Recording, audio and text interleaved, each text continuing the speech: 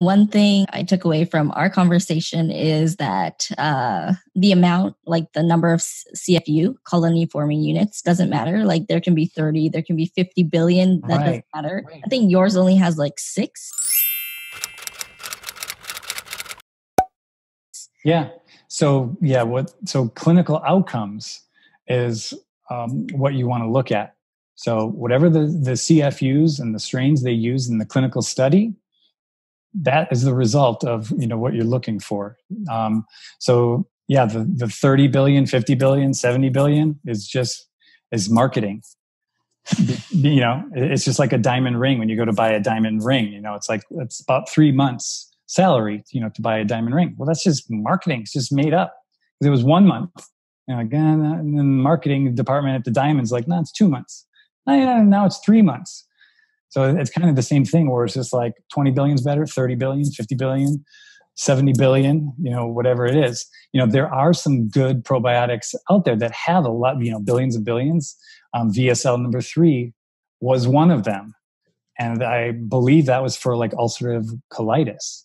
And I, there was just a big lawsuit because there too, um, I don't want to misquote, but they, I believe they've um, found deception there um, because the scientists who came up to it had these very specific strains in it, but then it was changed to a different formula. So he ended up winning like a four million dollar lawsuit. So uh, that that's kind of interesting, like just like the probiotics world, how important the strain is. You know, the strain and the CFU need to match the clinical study.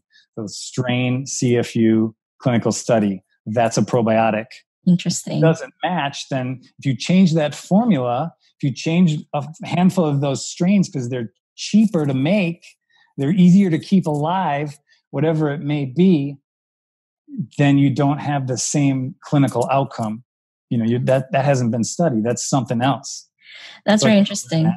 And just I, so I don't know the details of that VSL number three study. I, you know, I know that that is a good product. I don't know exactly, so I don't want to misspeak there. But I'm, that was a. I, I know there was a lawsuit that he won, and I thought that was the kind of the idea behind it. I I have also heard that um, when searching for uh, instead of looking at colony forming units, uh, you should be looking at the quality of the strain, and it should be human uh, human strains. Is that true?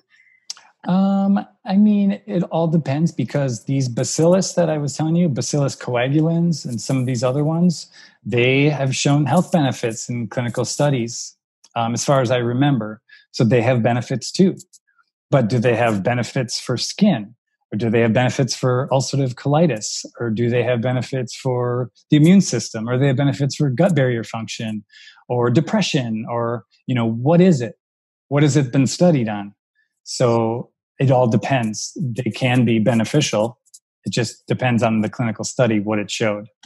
So it doesn't have to be from uh, a human person like the LGG, I, you know, and the strains and, and our probiotic as well.